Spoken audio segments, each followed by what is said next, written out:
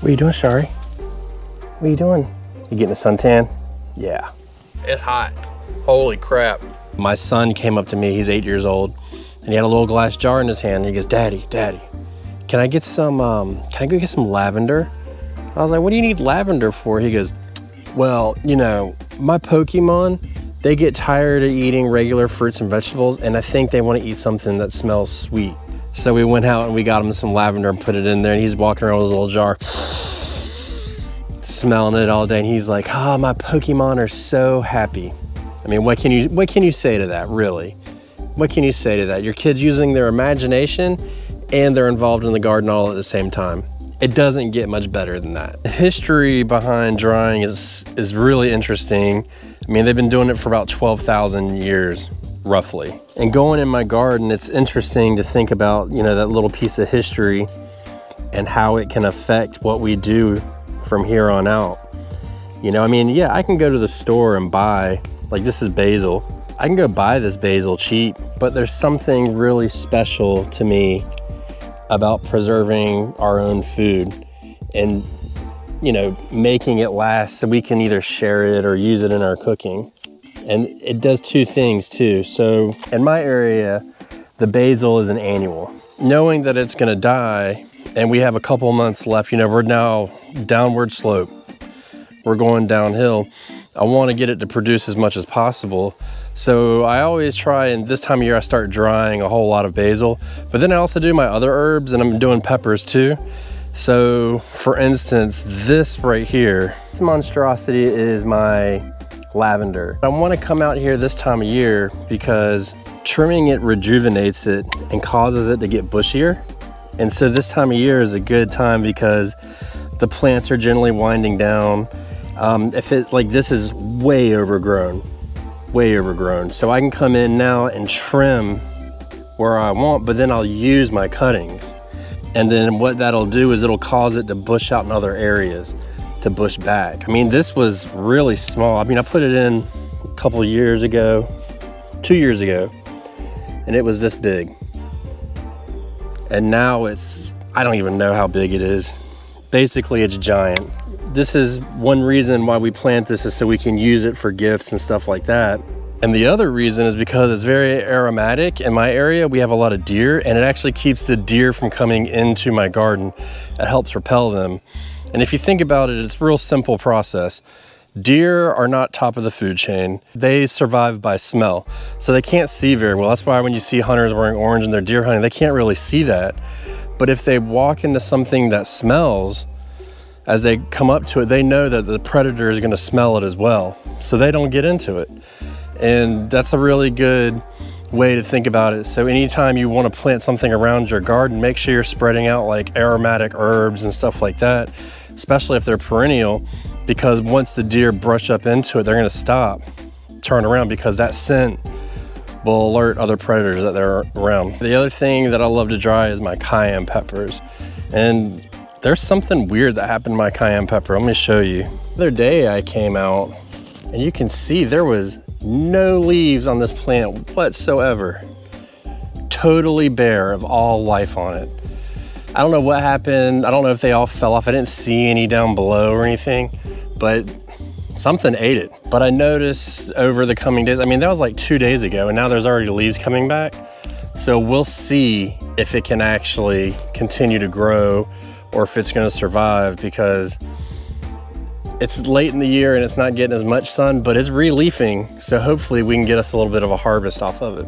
I don't know what this terrible weed is, but it came from the greenhouse and it is now out here.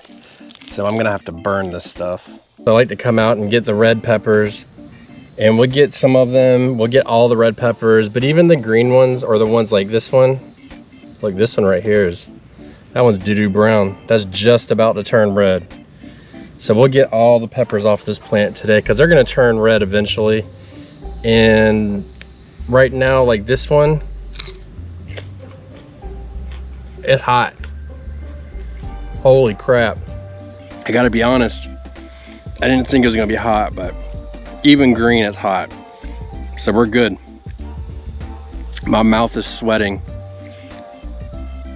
Like I told you before, I don't really, I like hot food, but I don't need like crazy hot. So this is perfect. I'm not gonna lie, that one got me.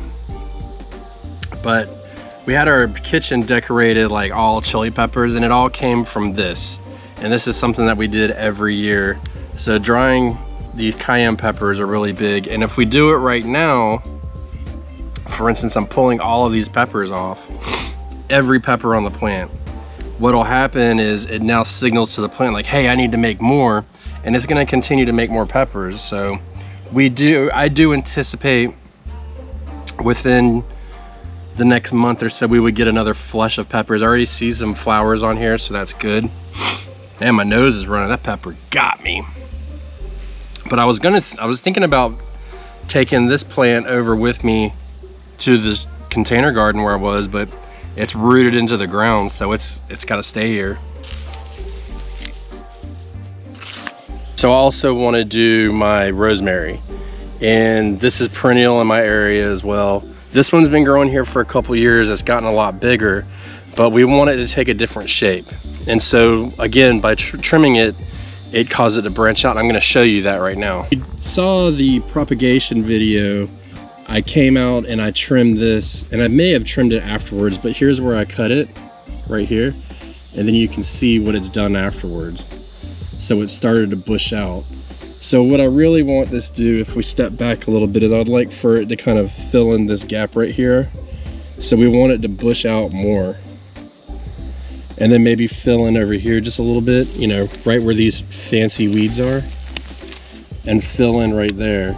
And I think that would be, you know, that would make us happy with the design of this plant. But look, here's another one. I trimmed it there. And look what shot up in like a month. I, I use fishing line and I like to use fishing line because it doesn't hold any moisture. So you could use thread or something like that, but the fishing line doesn't hold the moisture so it won't encourage rot inside of that pepper. And once I set it up, I leave it, oh, look at that. I got it threaded in the first try. Thank you guys for being here to witness that. And so you put it on and then you just tie like a simple knot and then at the other end, this one's kind of jacked up, but it already has a loop on it. So you don't even have to do a loop right now. As a matter of fact, I'm just gonna redo it. And I tie a decent sized knot in that because you're going to thread these peppers on here. And you want it to, you're tying a stopper knot is exactly what you're doing. I talked about this in a previous video, but this reminds me a lot of my childhood because when I was growing up, we would do this basically all fall. We would start doing this and then we would just finish out, you know, from late summer all the way into fall.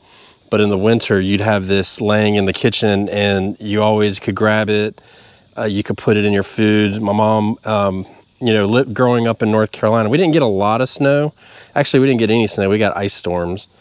And every time that we get an ice storm, it was like clockwork. She would put a pot of chili on.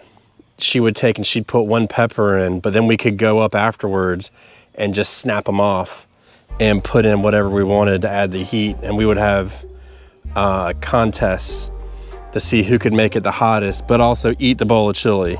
That was the key, I had to be able to eat it. Now I'll just leave the needle on and we have our peppers and they can dry, they get plenty of airflow, and we actually hang these up in our kitchen as a decoration. The next flush I get, I'll do more of these, but I'm also gonna make some hot pepper vinegar for my greens and stuff for the winter. Now for our aromatic pleasure, we're gonna do a couple herbs. So first up is gonna be basil, okay? And then the trick behind basil is you don't wanna dry too many together. And we do this a lot and the way I do it is I make little bundles like this, and then I make all the stems face the same way. And you want them all just about even.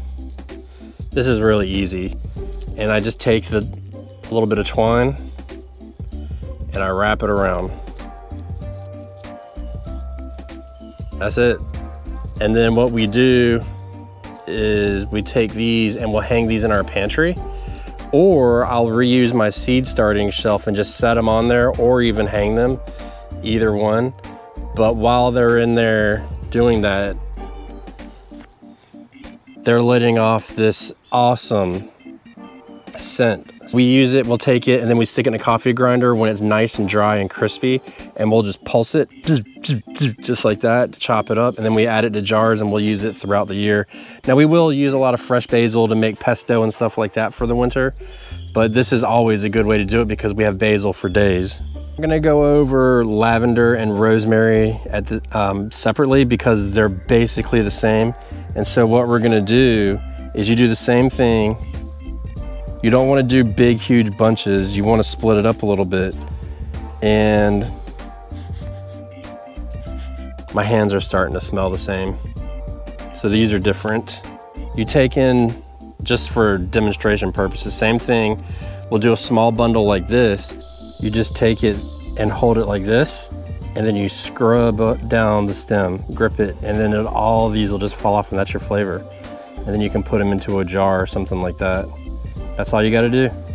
The, the lavender that we got was a little wet, so I'm gonna leave it out and let it dry for a day before I do it because if I bundle it while it's wet, then it's gonna end up rotting and encouraging mold growth and stuff like that on the leaves. So I just leave it out in the sun for a day and then I'll come back. Um, I'll probably leave it out for the rest of the day and then come back before the nightfall, before the dew comes. And then I'll be able to bundle it up tomorrow or something, leave it inside for the night, and then bundle it up, and then I'll have that to hang up.